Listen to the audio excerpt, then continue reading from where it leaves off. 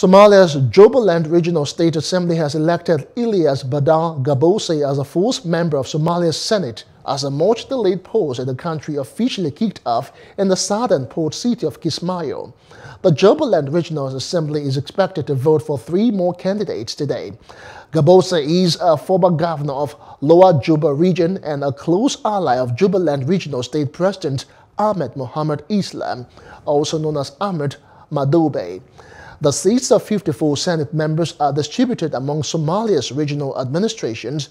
Jubaland State has been allocated eight of those seats. The other regional administrations have not yet announced a date for their elections to the two houses of the federal parliament. Hello, hope you enjoyed the news. Please do subscribe to our YouTube channel and don't forget to hit the notification button so you get notified about fresh news updates.